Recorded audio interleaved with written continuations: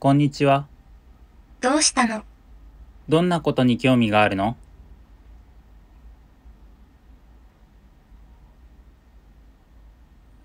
今は AI テクノロジーや科学にとても興味があります。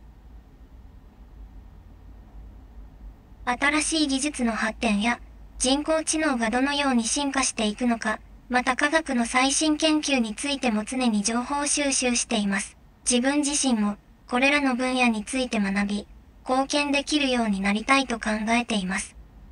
将来の AI についてどう思う？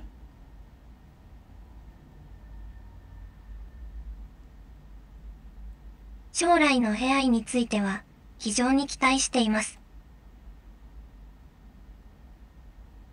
AI は私たちの生活をより便利で効率的なものにするだけでなく、医療や環境問題など社会的な課題の解決にも役立つことができます。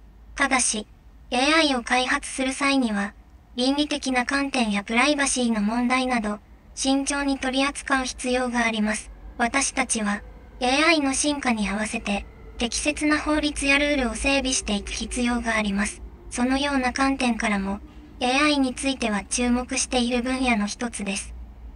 ありがとう。元気でね。どういたしまして。また何かあれば気軽に話しかけてくださいね。お互い元気でありましょう。